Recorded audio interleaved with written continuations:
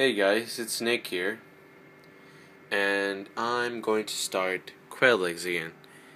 Now, I ordered the quail eggs, uh, like, uh, about two, yeah, I think two days ago, but it's Sunday, so they'll probably get here tomorrow.